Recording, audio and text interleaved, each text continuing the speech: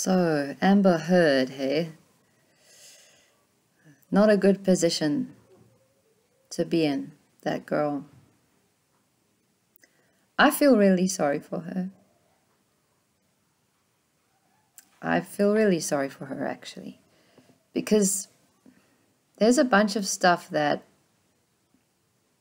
that I've noticed and she's come out of this really badly. However, she expected it to go, however, she most wanted it to go, it really hasn't gone the way she could have wished.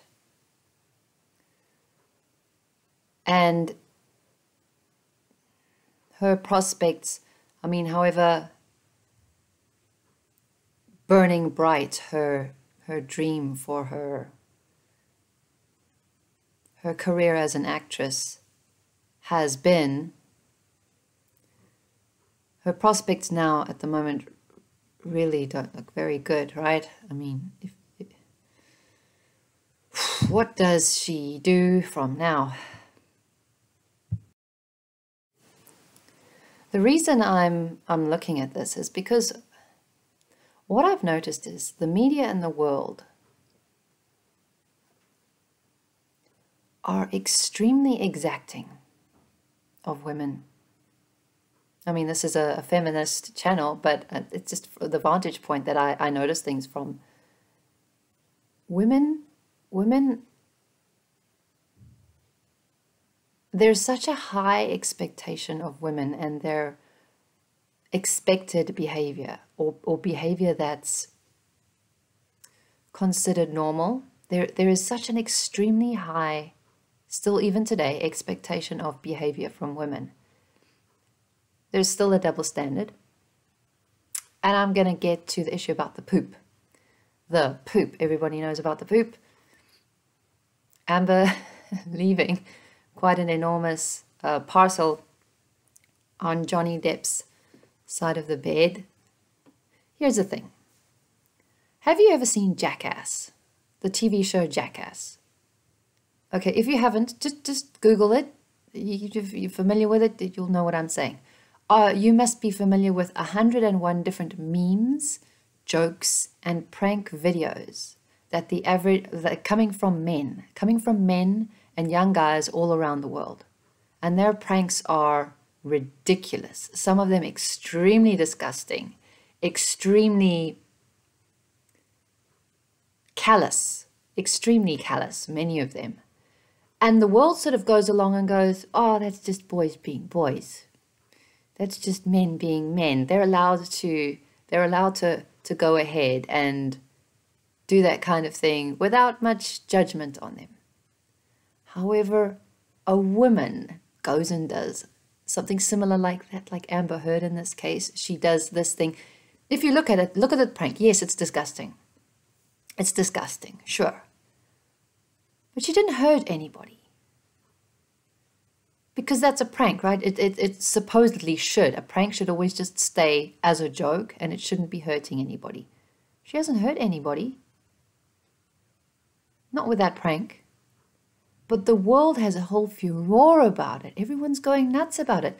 Men and boys and teenage men, they perform pranks all the time that are absolutely disgusting. One woman does it and everybody is leaping on her. Is her whole career going to be torn apart by this one prank that she did? Where are we?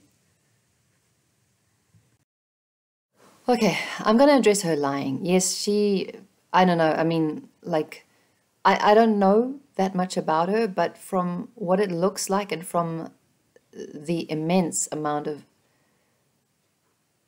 the sheer scale of videos and reference to her all around the internet. Um, it looks like she's probably been lying quite a bit. Okay, there's a fair amount of manipulation. There's a lot of manipulation. I mean, she's acting. There's a lot of acting going on. You're not sure what, what's real and what's her a lot of the time. What I've noticed about people who lie, lie just on default. People who lie on default, people who manipulate, constantly lying and manipulating. There's there's a reason why they're doing it. There's always a reason why. And what it looks like is that maybe in her past, I guess, in her past, maybe in her growing up years, what she's learned that works in the world is that her telling the truth is not enough. Her telling the truth is not enough. Whatever she has to give, whatever she has to offer, she has to embellish. She has to maybe exaggerate or add something because she, in her mind, she will never get what she thinks she's due unless she fabricates on top of what is already true. And this says probably quite a lot about her, her past, maybe her growing up years. Maybe she was, you know, what often happens with kids is they're not believed. Kids growing up in certain households, just being just being the status of a kid alone, you're often not believed. You're frequently not taken seriously. And especially if you're pretty. I mean, Amber is drop dead gorgeous. If you're pretty, what, what is the, there's a kind of there's like a, a pretty girl disadvantage kind of thing. Like you'll win in certain situations, but in other situations, it really functions as as quite a disadvantage because people seem to look at attractive people or girls. Let's just say attractive people and go, oh, that's your gift. In this life, that's your gift. So I can pay attention to what you look like, but whatever comes out of your mouth is very secondary or just by the way because your gift in this life is the way you look. So therefore, whatever you say, eh, it, you know, you know what I mean. So growing up, where she did, she was probably learning that the truth was never going to get her what she wanted what she wanted and what she felt she was due was never going to happen. Just being honest and forthright about things as they are. Something else I've noticed about this whole Amber Heard trial is so she's been in this business quite a long time. Like she's known since the get-go of what she she wanted to do. She sounds pretty focused. And she's been doing everything she can to get as much spotlight as possible, to get as as high um, in her career society as she possibly can. Not once in this whole trial has she mentioned any prejudiced treatment or any misogynist treatment, uh, bad treatment from males towards her. Outside of not outside of Johnny Depp, like she's giving her her accounts about a lot of things, and she mentions she talks about her career before. Not once does she mention anything about misogyni- misogynistic or prejudiced treatment from males. She doesn't mention it at all. But if you look at her, if you just look at her, you can count on it that that girl has experienced probably at least five instances in her life of pretty bald faced prejudice and misogyny based on the fact that she's a very attractive female. She's probably had come ons, she's probably been inappropriately treated, she's probably been dropped in favor of somebody else who had a slightly different, you know, thing happening and it was probably looks based. Not once does she reference any form of misogynistic treatment from the entertainment industry, from Hollywood, and you know it has been rife, right? She doesn't touch this. And I'm going to say it's probably because she knows it's in she knows it's use, useless. She is it's useless to do this. The Me Too movement, like she can only she can't subscribe to it. She can't subscribe to the rest of it because she's focusing on this thing with Johnny there's there's some beef there. There's some something going on between them. There's there's all they, they've got relationship history that I can't even begin to. I mean, I'm not even going to go into. I'm not even going to try. But this lady hasn't even mentioned once any instances of unfairness or inappropriate treatment. But you you know they probably did happen. You know they did. Look at her. And I was going to say, like, I think she probably hasn't mentioned any from the industry, any misogynistic treatment or inappropriate treatment or advances in her whole career until now. She hasn't mentioned any of it. Probably because in her experience and in her past, she counts it as normal. To her, it's probably normal. So she's not mentioning it. She's not mentioning it as anything special because that's just been her experience and past before. She was saying how when she first met Johnny, I think it was on Pineapple Express, that the really interesting thing, the cool thing about hanging out with him was that they wound up talking about books and poetry and obscure um, obscure books, etc. And that really blew her away because here she is talking about books and pop culture. And that was probably probably one of the things that really endeared him to her because she'd probably experienced nothing like that before. The average director calling her into his office is not going to talk to her about books and poetry and movies and whatever the average director, the average, I mean, look at it. Look at the world. Look at Hollywood. Amber Heard. Are they going to be are they going to be thinking about, "Oh, I can probably talk to this girl about books." No. That's not on their mind at all. Is it? No.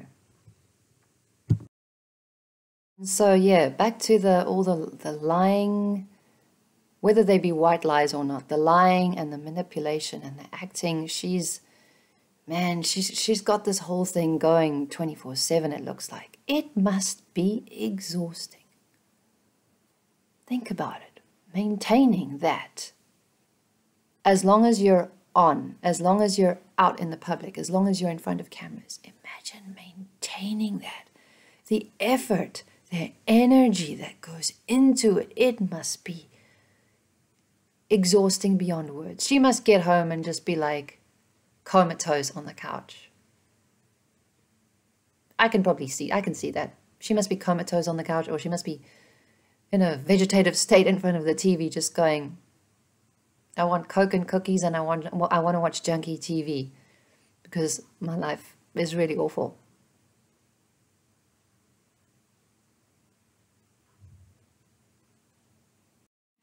Man, if you look at her, that girl, man, she's not a happy person. With all her build up for whatever she's doing, if you had to look at her, even when she's smiling, okay, she's smiling for the cameras in certain other instances before this trial, wouldn't call her happy. She's not happy. There's a lot going on under the surface there. I feel for her this kid. The whole facade is there because she thinks, she thoroughly believes that what she inherently is is not enough. Will never be enough, so she has to build up something around her. I read something once. I didn't I haven't read many books by him, but I have read enough from him and about him to know there, there was a guy, uh, Carl Jung, Carl Jung, Carl Jung, Carl C A R L, and then J U N G, Carl Jung. Okay, and he wrote a really smart guy. Did a lot before. You can check him out. Um, dead now. He once said that all those people, all those people, all those entities out there that are the source of torture, they're torturing they are creating misery for other people, creating misery, creating just making life extremely difficult for others around them and creating pain and drama. The torturers are the tortured. The torturers are the tortured. Basically, they torture others because they themselves are tortured souls inside them. If they were completely happy and balanced people, they wouldn't be doing this. If they were completely happy and balanced and chill, with no issues, with no past horror or past neglect or anything, they would be totally different people. They wouldn't be doing what they do. This woman is a torturer because she is highly tortured. I, I feel that when I look at her. She's a tortured soul. There's, there's a lot going on inside her, and she has deep anger. She has such deep anger. I don't want to know, I don't know if I want to say hatred, but she is deeply angry. This is one thing about this girl. She's so angry. What's made her so angry? She's she's not that old. Like I'm I'm 42. How old is she? Like 30s? I don't know. I, I have no idea how old, how old she is, but what has she lived through to make her so angry? I mean, she doesn't look stupid. Like for, from what I've seen, she she can represent herself pretty well, and she uh, she can you know, she reads things. She she has a good turn of phrase. You know, she's she's not a stupid person. She's not. And and going going through the world as an intelligent, thinking girl, female from the get go. What is it that's happened to her?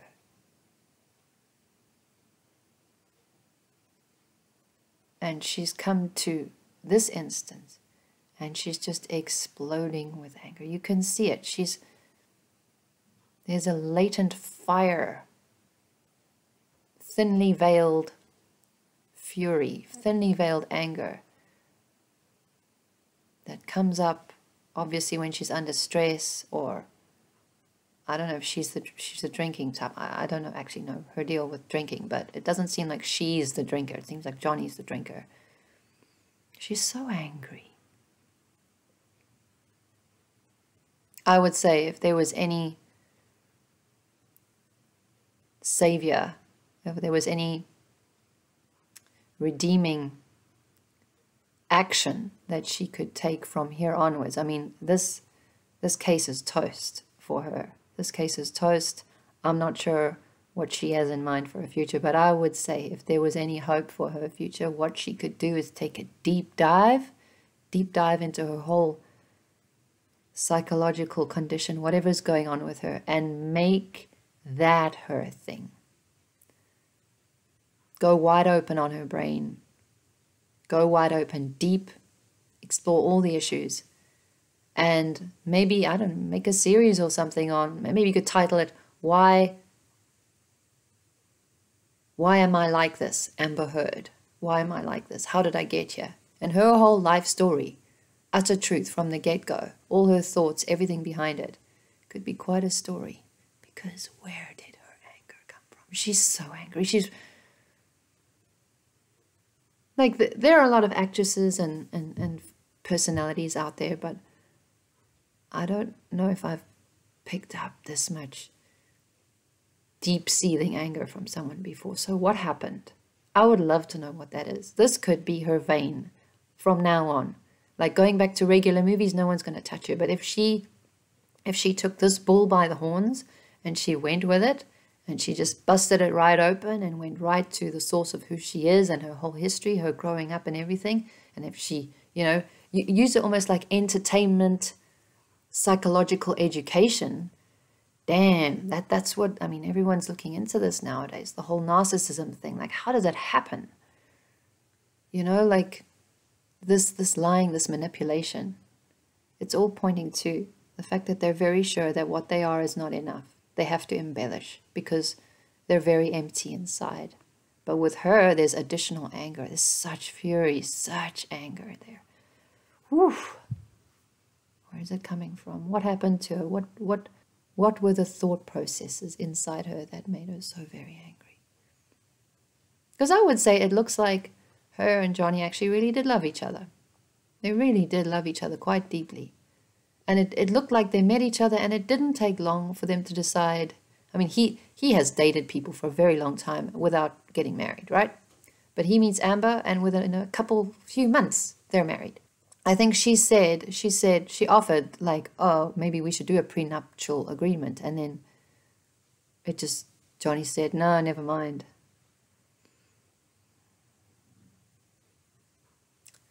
Oh man, what a mess, hey?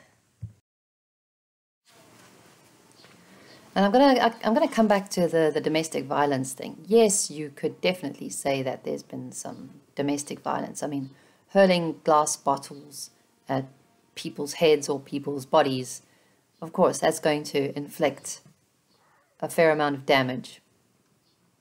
I'm going to say something about the severed finger, though. The severed finger, I'm you have to admit she didn't mean to do that. She threw the bottle with intent for it to hit him, not to kill him, just to hit him, make him aware. Yes, to hurt him too. But I'm going to say she threw that bottle with no intent to sever his finger. She didn't mean to do that. That that was that was horrible circumstance, you know, horrible accident.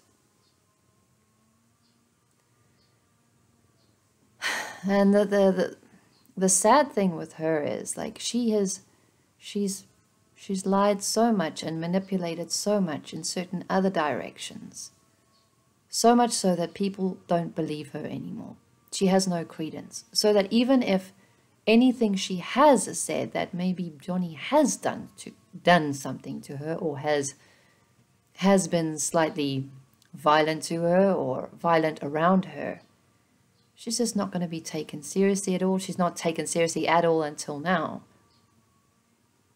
because of her, of her lies and manipulation in other areas. So that doesn't leave her in a good place either.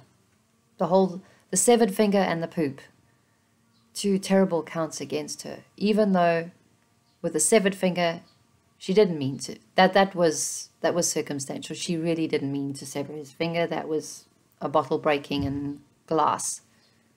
And the poop, it was a prank with no intent to inflict pain on anyone. She was sending a message, sure. But I don't think she meant anyone pain with the poop. No pain with the poop.